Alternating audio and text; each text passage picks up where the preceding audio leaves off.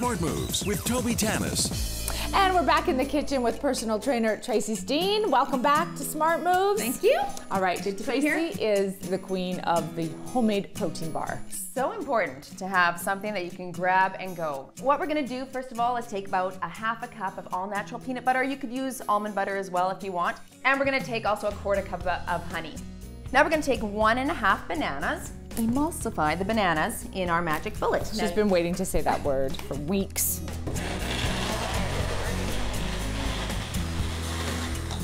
Okay, so it looks like baby food. it does. Okay, Toby, why don't you go ahead and put that into our pot with the Okay. peanut butter and the honey. So basically what we have is one cup of quick oats.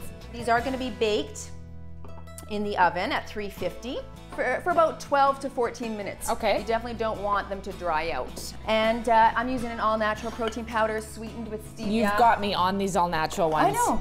So I'm gonna use three scoops of that, and a little vanilla. bit of vanilla into our wet What, like a there. teaspoon? About a half, maybe.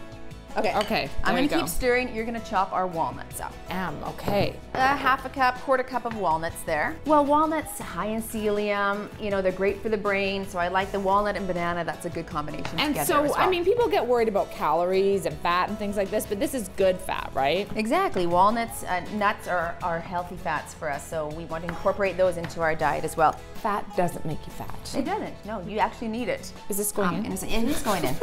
Just acting like it's my cooking show. Drop it in there. Okay. And now I'm also gonna add a little bit more protein and Okay. omega-3 6 by adding some flaxseed and some hemp hearts. Now it might um, seem a little dry to you, and if that's the case, you can take a little bit of almond breeze. It seems dry to me, Tracy. Yeah. And uh, we'll just add about an eighth of a cup of almond breeze in there. Okay, let's see the finished One product. that's yes. already ready.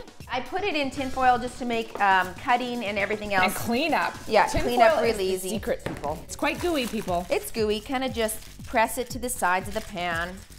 So that's about a serving, hey? That's about a serving. So you're gonna get four, about eight. Yeah, Okay. about eight out of that. And then you've done another sort of version.